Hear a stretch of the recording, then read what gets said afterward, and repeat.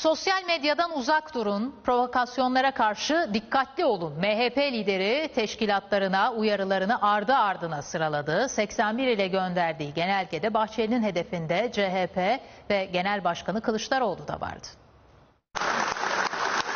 Sayın Kılıçdaroğlu için çember daralıyor, suyu ısınıyor, kader ağlarını dört bir koldan örüyor. Genelgeyi teşkilatına gönderdi. Hedefinde ise CHP lideri vardı. Selahattin Demirtaş'ın tutukluluğunu eleştiren Kılıçdaroğlu'na sert çıktı. Kılıçdaroğlu bu izansız üslubu kanalıyla PKK'nın gölgesine sığınmıştır. Kılıçdaroğlu hem partisine hem de Türkiye'ye kurulan vahim hatta vandal bir kumpasın ana aktörü haline gelmiştir. MHP lideri Bahçeli partisinin il ve ilçe kongreleri öncesi teşkilatını o genelgeyle uyardı.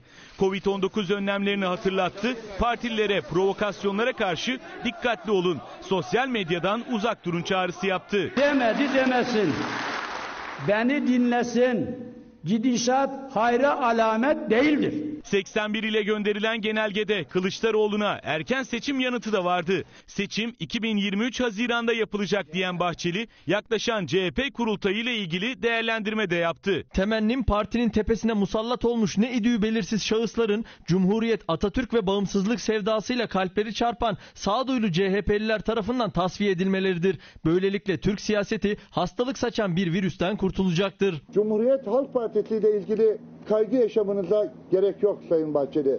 Dağılmakta olan maalesef Milliyetçi Hareket Partisi tabanı. Mecliste görüşülen çoklu baro teklifine desteğini bir kez daha dile getirirken baro başkanları da Bahçeli'nin hedefindeydi.